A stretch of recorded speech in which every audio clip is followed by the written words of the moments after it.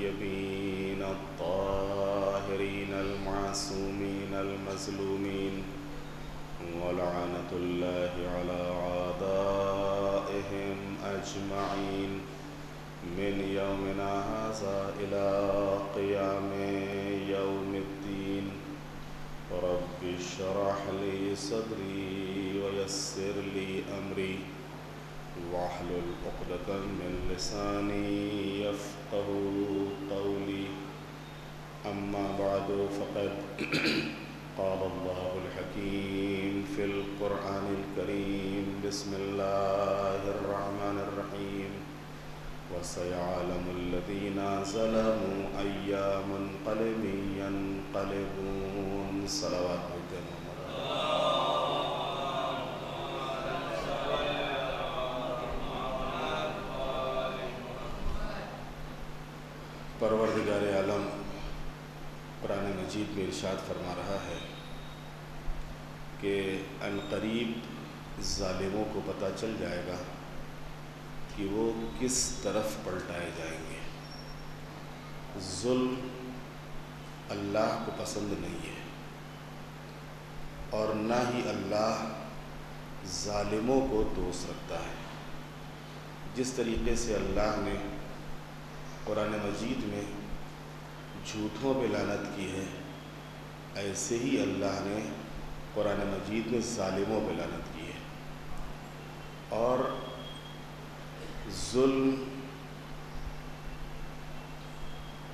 जिस ज़माने में भी हो, जिसके ऊपर भी हो, जिन हालात में भी हो, जुल्म जुल्म है। और जिस तरीके से अगर नेकी किसी के साथ की जाए तो जिसके साथ नेकी की जा रही है, उसी के लिहाज से उसका सवाब बढ़ता रहता है। एक नेकी यह है कि आप हैवान के साथ कर रहे हैं। आपने देखा, एक हैवान तड़प रहा था, बेकरार हो रहा था, एक जानवर, आपने उसको पानी पिला दिया। ये एक नेकी है, इसका भी सवाब है। लेकिन इससे कहीं ज़्यादा सवाब यह है कि अगर कोई इंसान तड़प रहा हो और आप उस इंसान को पानी पिला दो। तो इसका सवाब उस हैवान से ज़्यादा, अगर नेकी एक ही है, पानी उसको भी पिलाया आपने, पानी उसको भी पिलाया। लेकिन इसका सवाब ज़्यादा है। एक नेकी यह है कि एक मुसलमान तड़प रहा था। उसको आपने पानी पिलाया। वो प्यासा था। नेकी आपने हैवान के साथ भी की, नेकी इंसान के साथ भी की, नेकी मुसलमान के साथ भी की, लेकिन एक सवाब बढ़ता जा रहा है। इसी के मुकाबले में एक ने देखा कि एक मोमिन तड़प रहा था, एक शिया बेकरार हो रहा था। प्यास से जहाँ गलब था, आपने उसको पानी पिला दिया।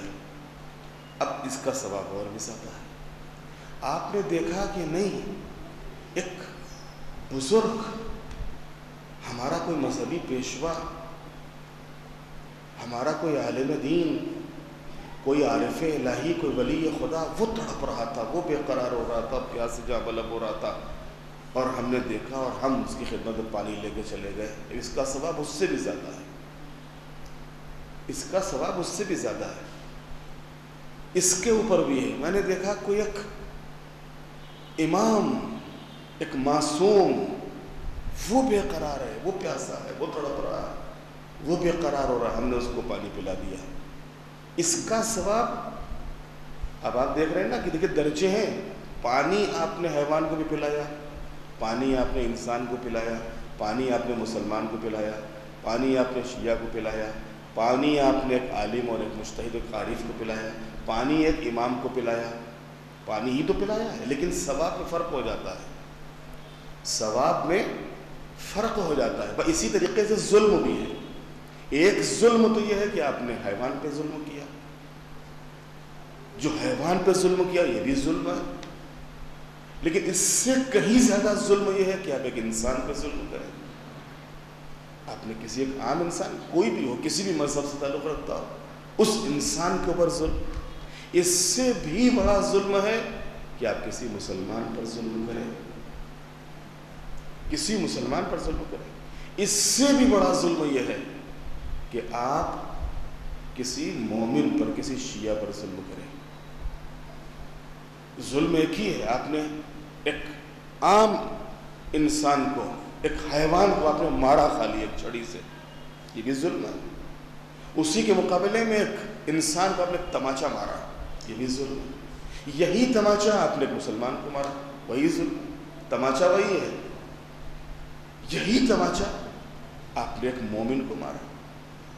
देखिए, यहाँ के ऊपर जुल्म एक ही है। लेकिन जैसे जैसे बदलता जा रहा है, उसका अजाब बढ़ता जा रहा है। एक हैवान पर जुल्म किया, उसका अजाब अपनी जगह है। उसके मुकाबले वही जुल्म आपने मुसलमान पे किया, उसका अजाब उससे बढ़ गया।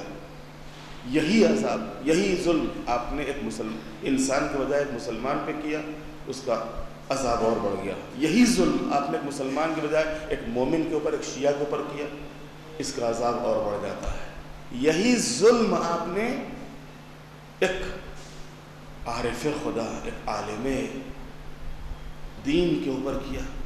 इसका अजाब और भी बढ़ जाता है। यही जुल्म यही जुल्म आपने एक इमाम मासूम पे किया। तो इसका अजाब और भी ज़्यादा बढ़ जाता है। देखिए, जुल्म एक ही है। जिस तरीके से मैंने उधर नेकी बताई थी कि नेकी आपने खाली पानी पिलाया है, लेकिन जिस, किसके साथ आप नेकी कर रहे हो, उसके लिहाज से उसका सवाब बढ़ता रहता है। ऐसी जुल्म किसके साथ, किसके ऊपर आप जुल्म कर रहे हो, उसके लिहाज से जुल्म का अजाब बढ़ता रहता है। जुल्म का अजाब बढ़ता रहता है। परवर दिगार आलम फरमा रहा है कि अल्लाह ालिमों को दोष नहीं रखता। तो जुल्म तो जुल्म है। और यहाँ के ऊपर चाहे किसी हैवान पर जुल्म हो, चाहे इंसान पर जुल्म हो, चाहे मुसलमान पर जुल्म हो, चाहे मोमिन पर जुल्म हो, चाहे एक मुश्तहिद और एक आलिम दीन पर जुल्म हो, चाहे एक इमाम वक्त और इमाम मासूम पर जुल्म हो, जुल्म जुल्म, अल्लाह करा, हमको जुल्म पसंद नहीं है, जुल्म को मैं दोस्त नहीं रखता। तो अजीज़ा ने मोहतरम, अब आप अंदाज़ा लगाइए। कि जिन लोगों ने अम्बिया मुरसलीन और अठारम पर जुल्म किया, अब वो किस खाने में होंगे? एक छोटी सी मिसाल मैंने आपको दी कि अगर किसी ने को तमाचा मार दिया है तो ये जुल्म है। लेकिन इसका भी अजाब है, और अजाब सामने वाला कौन है, उसके लिहाज से है।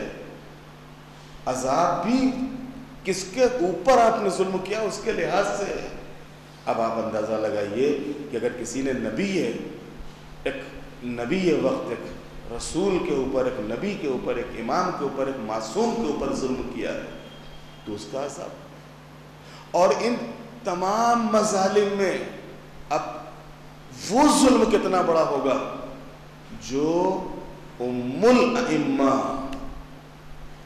उम्मुल इम्मा के ऊपर किसी ने अगर जुल्म किया, अगर एक इमाम के ऊपर जुल्म हो तो उसका भी इमाम मासूम। और अगर कोई उम्मुल इम्मा के ऊपर जुल्म करे तो अब ये जुल्म अल्लाह की निगाह में कितना बड़ा होगा, कितना बड़ा होगा। अब ज़ाहिर सी बात है कि जिसने उम्मुल अम्मा के ऊपर जुल्म किया, उम्मुल अम्मा कौन? सिद्दीक तहरा हज़रत फातिमा जहरा सलाम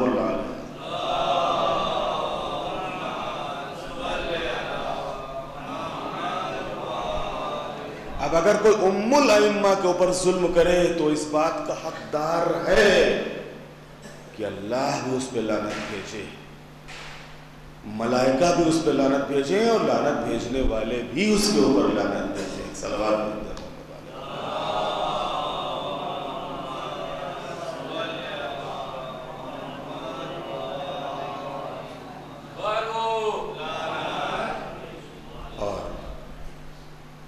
बस यही आज में तबर्रुकन और तमन्नन आपकी खिदमत में अर्ज़ किया है। और जनाब सिद्दीक़ ताहरा सलामुल्ला की जो ज़िंदगी है, जो आपकी हयात तय्यबा है, हकीकत में ख़ुद आपका ज़िक्र, आपकी, आपके फ़ज़ाइल, आपके मसाइब, जिसके लिए ख़ुद पैगंबर ने फरमाया जिसके लिए पैगंबर ने फरमाया है कि फ़ातिमा तो बस तो मिलनी फ़ातिमा मेरा जुज़ है, मेरा टुकड़ा है, मेरा हिस्सा है। मन आज़ा फ़कद आज़ानी, जिसने भी फ़ातिमा को अजियत दी, उसने मुझे अजियत दी। और जिसने मुझे अजियत दी, उसने खुदा को अजियत दी। जिसने भी फ़ातिमा, जिसने भी फ़ातिमा को नाराज़ किया, उसने मुझे नाराज़ किया। और जिसने मुझे नाराज़ किया, उसने खुदा को नाराज़ किया। बस तबर्रुकन अपने बयान को समेटते हुए शब जुमा है और तबर्रुकन ये अर्ज़ है कि अब जिस जालिम ने बीबी का हक गस्ब किया, बीबी के दरवाज़े में आग लगाई, बीबी का पहलू शिकस्ता किया, बीबी के बच्चे को शहीद किया और इन तमाम मजालिम के सबब जनाब सैदा जितने दिन भी बाबा की ज़िंदगी के बाद हयात रही हैं, ज़िंदा रही हैं, मुसलसल आपकी पूरी हयात और पूरी ज़िंदगी नवहा पढ़ते हुए और मरसिया करते हुए गुजरी। वो नवहा और मरसिया क्या था? तमन्ना सुब्बत अलैया में सिर न लयाली। बाबा, आपके बाद इतने मसायब पढ़े कि अगर ये मसायब दिनों पर पढ़ते तो दिन रात में बदल जाते। अगर ये मसायब पहाड़ों के ऊपर पड़ते तो पहाड़ टुकड़े टुकड़े हो जाते, क्योंकि बीबी के ऊपर जो मुसीबत पड़ी थी, हकीकत में इस मुसीबत को देख के बीबी समझ गई थी कि जब इन्होंने मेरे ऊपर, मेरे बाबा के इंतकाल के बाद अभी ये जुल्म किया है तो मेरी औलाद के ऊपर ये क्या जुल्म करेंगे? और हकीकत में बीबी की नज़रों में करबला का वो पूरा मंजर था कि जहाँ इमाम का लाशा तीरों के ऊपर है, जहाँ खैमों में आग लगाई जा रही है, जहाँ बीवियों के सरों से चादरें उतारी जा रही हैं और उनको असीर करके करबला से कोफा और कोफा से शाम दर बदर फिराया जा रहा है। अलमीन सयालमदीन ज़लम अय्यामन कलबियन कलबून बेहक़ ज़हरा वाबीहा व बालहा व बनीहा बार लहा शब जुमा है शब रहमत है शब दुआ है शब मुनाजात मबूद तेरी बारगाह में इन्हीं मासूमीन सलाम के वास्ते से दुआ है मबूद हम सबको माफ़ फरमा हमारी तोफ़ीक़ात में इजाफ़ा फरमा परचम इस्लाम को सरबुलंद फरमा परचम कुफ्र नफाक को सरनगू फरमा। मोमिन जहाँ जहाँ भी आबाद है, उनकी जान, माल, इज़्ज़त, आबरू की हिफाजत फरमा। मकामात मुक़दसा की हिफाजत फरमा। और मराजे की हिफाजत फरमा। इस्लाम दुश्मन ताकतों को जलील, खार और नीस्त नाबूद फरमा। जो मोमिन मरीज़ है, उनको शिफाता फरमा। जो दुनिया से रुखसत हो चुके उनकी मफ़रत फरमा। मौला इमाम ज़माना के ज़हूर में ताजील फरमा, हम सबको इमाम के ग़ुलामों में और उनके नासरों में शुमार फरमा व तकबल मन्ना, इन्नका अंत समी